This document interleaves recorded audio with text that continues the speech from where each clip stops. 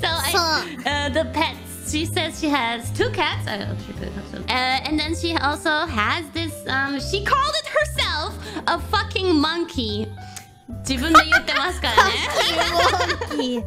and um, she says that um, it's not difficult to have this pet once you once it's a part of your family and she also said that before even wanting cats she wanted this fucking monkey so yeah that was her goal and i asked her like what is the the mm, good parts and the bad parts about having this uh, and she said well first of all it soothes her it's like it brings her comfort and it's really cute but then she says the negative, a bush baby. Oh. The negative sides about it are even more overwhelming, actually. So she's wondering why she did it a little bit. But yeah, it, it poops everywhere. It poops and pees everywhere. And it bites her. So yeah, there's some quite a lot of negative things about it too.